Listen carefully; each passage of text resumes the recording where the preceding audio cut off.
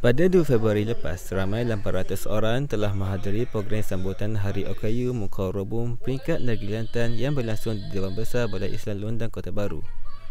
Majlis tersebut dirasmikan oleh Menteri Besar Kelantan Ustaz Datuk Haji Ahmad bin Yak. Beliau berkata, program ini dapat memberi kesedaran kepada masyarakat tentang kelebihan memulakan golongan orang kurang upaya serta mendahulukan mereka untuk menggunakan kemudahan awam yang disediakan sama ada di pejabat atau di tempat awam. Kita mohon banyak rahmat dengan kita membantu golongan al-du'afa, kita membantu golongan uh, kurang upaya ini, insya-Allah kita dikurangkan musibah-musibah. Ha? Dan kita minta mohon semua kepada semua pihak supaya mengambil perhatian dan mengira mikir tentang kemudahan kepada OKU di semua peringkat sama di pejabat ataupun di mana-mana tempat awal supaya mereka didahulukan.